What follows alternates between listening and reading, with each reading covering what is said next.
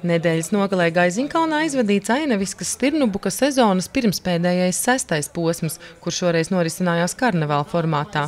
Kausara organizatori stirnubuks iegrozījies tā izšķirīgajā fāzē, kad notiek cīņa par iespējami augstākām vietām sezonas kopvērtējumā.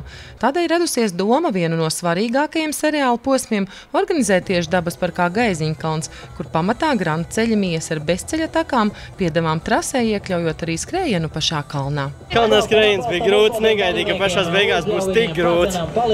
Īstenībā iepazinies ar distanci. Tāpēc viņš varbūt sāk finišu par ātri, bet nu mērķis izdevās. Gribējās zem divām pusstundām noskrēt, un tā laikam arī sanāca. Bet gandarījums ir ļoti liels. Būtiski, ka atbilstoši spējām un fiziskajai sagatavotībai stirnubukā ik viens var izvēlēties trasi ar sev atbilstošu garumu un grūtības pakāpi. Pat mazākā trasīte ir susuriņš. Tas ir kilometra distance pašiem pašiem mazākajiem līdz desmit gadiem. Nu, tad ir attiecīgi vāveres, zaķis, stirnubuks lūsas, 5, 10, 20, 30 km garas. Kausa Rimants vairāk kā 3000 dalībnieku ir apliecinājums tam, ka cilvēkiem patīk skriet. Nevelti piecu stirnubuka pastāvēšanas gadu laikā audzis nevien dalībnieku skaits, bet arī komanda.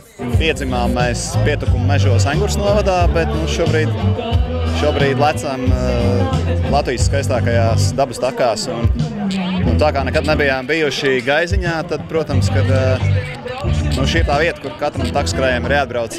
Kas tas ir jāapskatās, kas ir gaisiņš?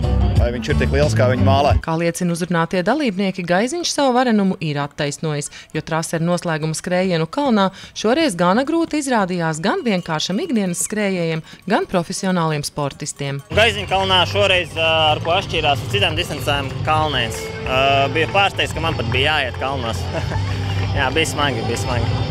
Bet jau jāuzrunā, būtu vienkārši cilvēks, kas eh, šeit paskrien un tā. Kā, kā tu uzrunātu, ko tu ieteiktu, kas ir tas, kas paņem šajos pasākumos? Es domāju, masveidība. Uh, sacensību līmenis, viss tas organizatoriskais.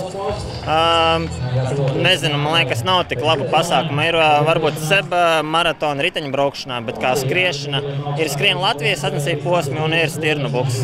Stirnu buks ir.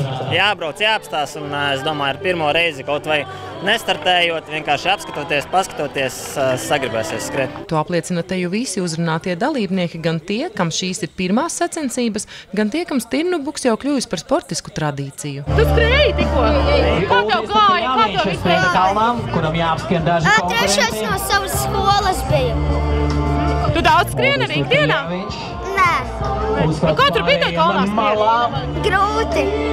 Trase vispār kopumā bija grūta? Jā. Ar smaidu nāk no trases, tad jau nebija tik grūti. Bija gan grūti, bet nekas grūtības smaidu izraisa. Tagad tā. Bet kāda bija trase kopumā? Uh, labāk nekā iepriekšējos divos. Tas jāsaka, bet uh, Nu jā, trasa kopumā varbūt bija mazliet vieglāk nekā iepriekšējos posmos. Es vienkārši mazliet sliktāk jūtos. Bet gadās arī tā.